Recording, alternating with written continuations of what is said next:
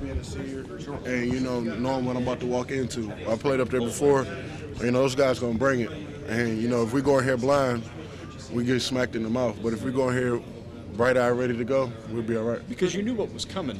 You know what's coming next week, and all you guys who played against them last year obviously had that Right. experience. How did that shape this week in preparation? Just preparation for this week. Like I say, we just wanted to get better. Each and every week, our goal is to get better. Coach is always talking about not being complacent, and you know, most of the teams you want to see who's better at the end of the year. So we just we try to grow each and every week and work on our fundamentals and just keep gelling as a team because you you know you could never stop growing. Curtis, do you, do you have a different Yeah, view two of more. Michigan State as a program after the year they had last year?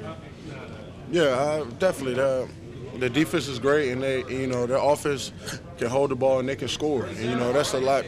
Uh, when you playing like us, we have a spread. You know, we like to throw the ball. They run the ball a lot of times, so they can kill the clock. And you know, if they they got stops, we have to get stops too. What surprised you most from Last them question. in that game last year? Say again. What surprised you most from them in that championship game? Uh, just the way they executed at the end. You know, their defense stepped up last year, and you know they had a great squad last year, and you know they won the game fair and square. I mean, this year it's going to be a dogfight.